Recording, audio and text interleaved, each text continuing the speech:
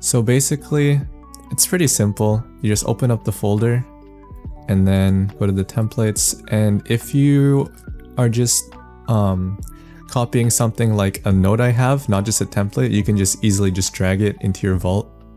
Oops. Like this. And then it'll show up.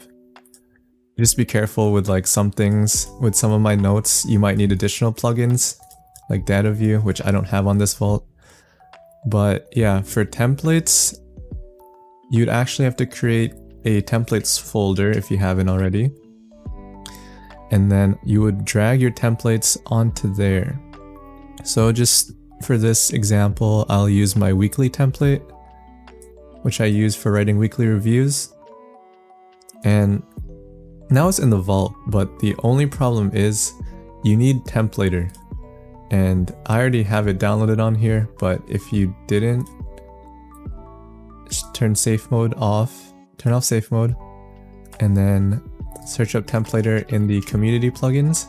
I already have it installed, but you'd um, install it and then enable it.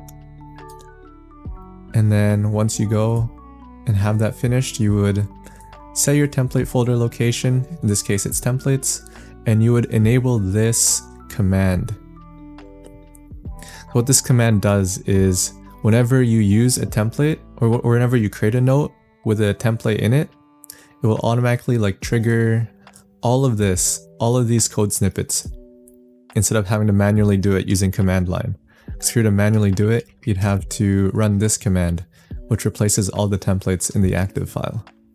So for example, if I were to create a note right here and then let's import the weekly review template. Um, what's the command? Import it. See, the commands run and there's no issues whatsoever.